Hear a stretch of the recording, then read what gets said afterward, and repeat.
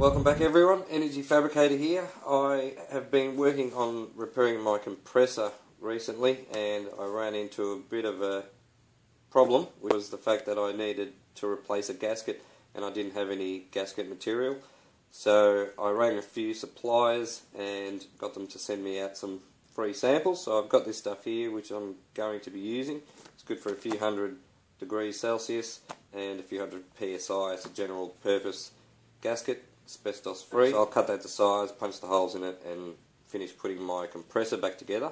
And I also got them to send me a couple of 2mm thick pieces as well. So I've got some 1.5 and 2mm thick gasket material there in stock now. Another company that supplied gasketing material also had a bunch of materials and products that I was interested in. So I asked them if they could send me a small care package with some samples of their materials and I'm guessing that this is the package so we'll open that up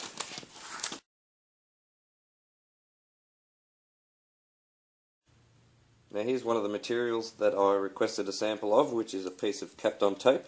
Now I haven't played with this stuff before, so I just wanted to get a feel for it and get a small piece to play around with.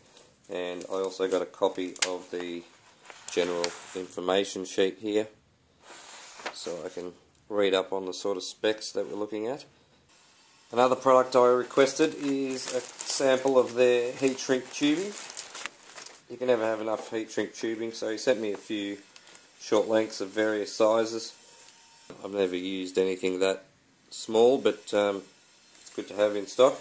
Everything up to probably a 10 mil or 13 mil sleeve here, and I don't know what that is, probably like a 20 mil wide or something. So a fairly large one, um, and everything in between. So as I said, that'll go in the kit. Now the last thing I've got to show you in this package is this piece of gasket material here, which they call Blackmar.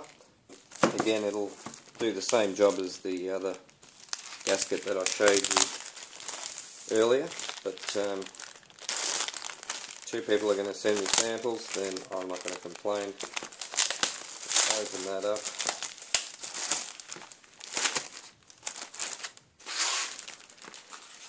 And there we go. We've got one, which is probably a two and a half or three mil. That looks like a 1.5. And that looks like a 0.5 there. So we've got three different thicknesses, three sheets, roughly A4 in size. So that'll go into stock. Now we've got more than enough gasket material to get us through the winter. So this is the compressor that I've been working on recently and as you can see we've nearly finished putting it back together. The only thing we've got to do now is mount the head back onto this flange here like so. Uh, now to do that we just need to cut a small gasket to fit on the flange here. Now that's the reason we got the Fasit Omnia material and the black Blackmar so that we can cut our own gasket. Now when I took this compressor apart, I cleaned it all out, got it all ready to reassemble, and when I got to the stage of putting this end cap back onto the main housing here, I realised that this gasket, which sort of fit in there like that, in between those two pieces, like so, um, when I went to put that back onto the back plate here, I realised that it had shrunk down in all directions by about three or four millimetres. So I wasn't able to get it to fit in the grooves properly so I couldn't use it um, although I did try and it started leaking oil out of a few spots so I had to take it all apart again, clean it all out. Now instead of using this gasket as it was I thought I'll add a few more holes, it didn't actually have that many holes in it but I added a few more because I thought well that'll just help for the whole thing to stretch out a bit and maybe we'll you know make up that three or four millimeters by having less to pull on, less material to pull on. Um, that didn't work, so I had to resort to using some Permatex Ultra Grey, which is a rigid high torque silicon gasket maker, and I've just gone metal on metal and put the silica all the way around this joint here, bolted it together, and then just waited half an hour, added a little quarter turn to each bolt, and um, that seems to be holding up fine. Now, after I did all of that, even though I didn't have the right gasket material, I thought I'd be really clever in my wisdom and I got out some um, cork nitrile rubber gasket material that I had in stock and knowing the fact that it was not made to seal this sort of a flange uh, on a compressor.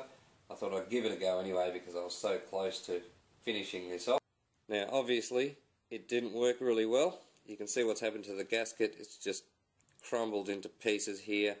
It's really badly compressed and it's not looking like it's in very good shape at all.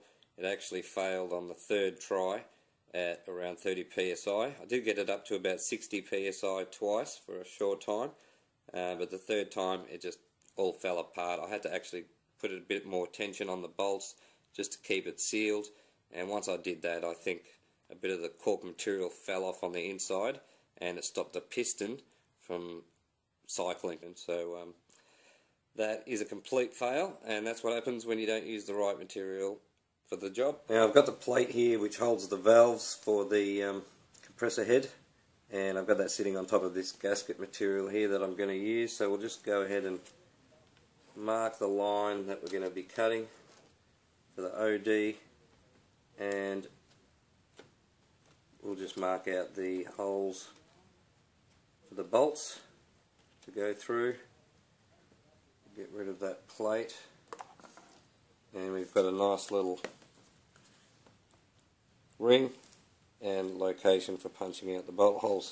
Now we've got to cut the ID and it just so happens that this brass tube here is the same OD as the um, OD of the piston. So we'll just center that up. 13 millimeters there,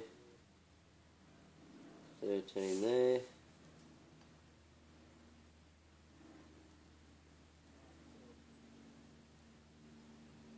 that right on 13.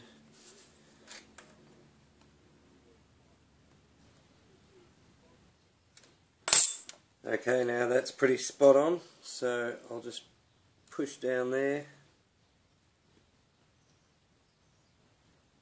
and carefully mark that line. Now I've got a bit of Adam Booth going in the background.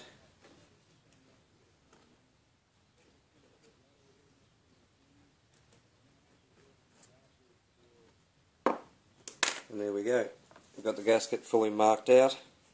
We've got the OD, the ID, and the location for the four bolt holes.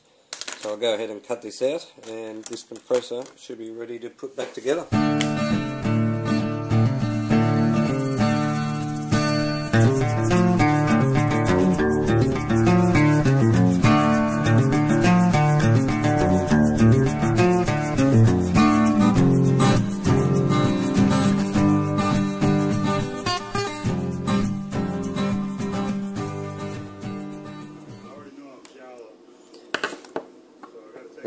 So we've got the OD cut, it's pretty good. We'll go ahead now and work on punching these bolt holes out and then we'll work on the ID. Now, as you can see here, the gasket has actually cracked because the hole was too close to the edge and the, um, the taper of the punch just put too much pressure on that edge there and it's just sheared away. So I've tried drilling it and that seems to work pretty well. So I'm going to go with that and um, we'll cut a whole new one. Let's go from there.